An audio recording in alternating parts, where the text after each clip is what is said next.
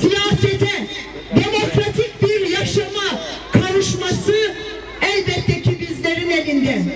İşte bunun için hani diyorlar ya 31 Mart tarihi ders verme zamanı değildir. Tam da aslında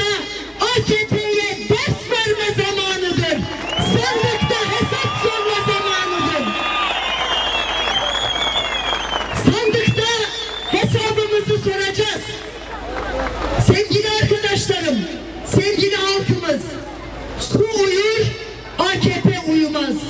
Bu yüzden de, bu yüzden de uyanık olmalıyız. Sandıklarımıza sahip çıkmalıyız.